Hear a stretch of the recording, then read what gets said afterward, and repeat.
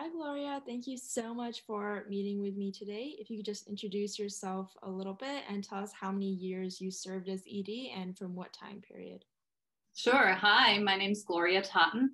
I was the executive director of Maryland NARAL from April of 1993 to May of 1996.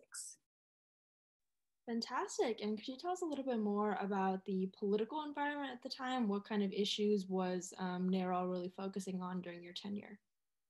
Sure. It was a really interesting time to come into the organization because in 1992, under Karyn Strickler's leadership, the NARAL team, Maryland NARAL team, had passed a referendum uh, called Question Six, which effectively codified Roe versus Wade into state law. And so I came in, um, you know, with that kind of foundation uh, underneath me and uh, tried to figure out what we could do from there. And so we naturally turned our attention towards fighting for Medicaid funding for abortions for low income women.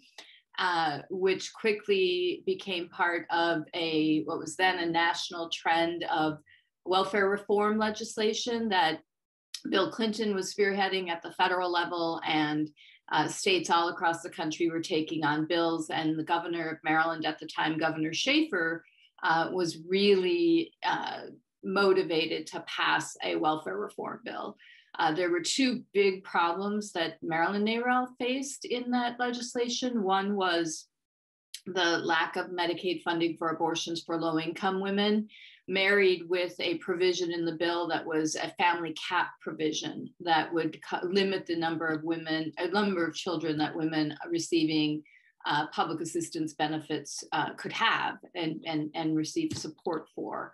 And so we quickly got embroiled into that fight. I can safely say that it's the first time that I have ever lobbied hand in hand with Catholic Charities, who could, because they were also opposed to the family cap. Uh, so we had lots of interesting boundaries setting. We wouldn't meet in each other's offices and we uh, would only meet in Annapolis and, and lobby together for kind of the shock value of having legislators see us both showing up against the family cap provision of the bill while still maintaining our stalwart support for Medicaid funding for abortions so that was the big uh, the big first thing that I got in in 1994, and we were uh, we did help successfully defeat that welfare reform bill in 1994, which was a big uh, big win for low income women across the state. And then in 1995, the big trend across the states again was uh, states mirroring a national bill to ban so called partial birth abortions and so we got embroiled in that fight uh, at the same time.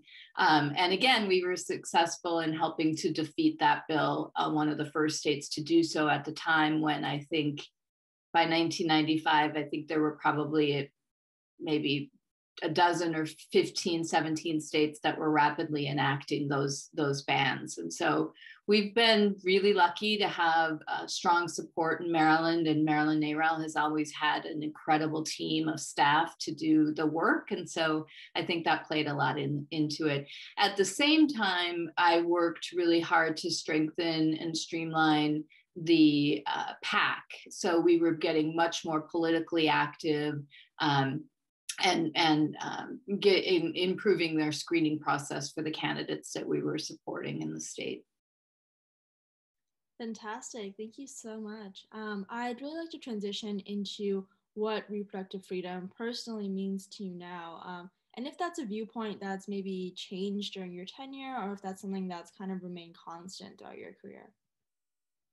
Well, my story is that I had never met a woman whose life wasn't defined by the reproductive choices that were available to her.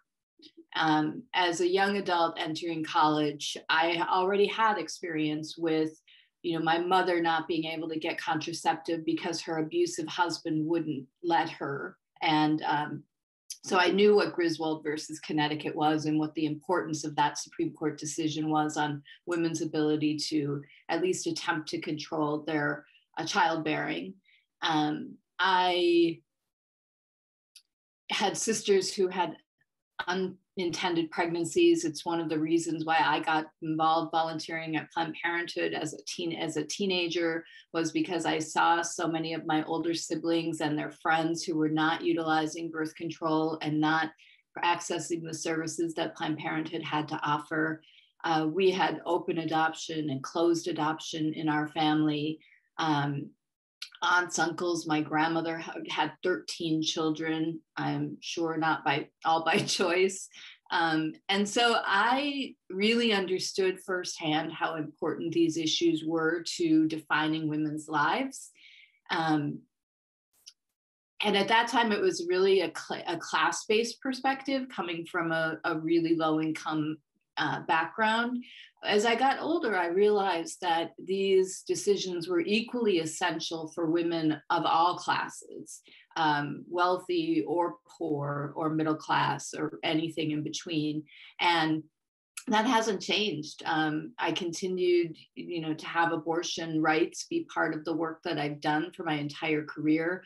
I formed two national organizations uh, that uh, we you know we had abortion rights as the center of the of the of the primary issues that we would advocate on um, through the Public Leadership Institute, the organization that I work on now. We wrote a playbook for abortion rights that's been used by legislators and advocates in states all across the country, and we've driven proactive public policy campaigns to try to not just defend abortion rights, but to expand abortion rights and access for all women. So it's stayed with me. no, I mean, that's incredible, Gloria. And it's really interesting just to hear about your work and your perspective, um, you know, working with NARAL and then also your career beyond NARAL. So it was a really, really interesting conversation. Um, thank you so much for sitting down with me and meeting with me today. Um, and again, thank you so much for your time. Thank you. Thanks for doing this and happy anniversary. Yes.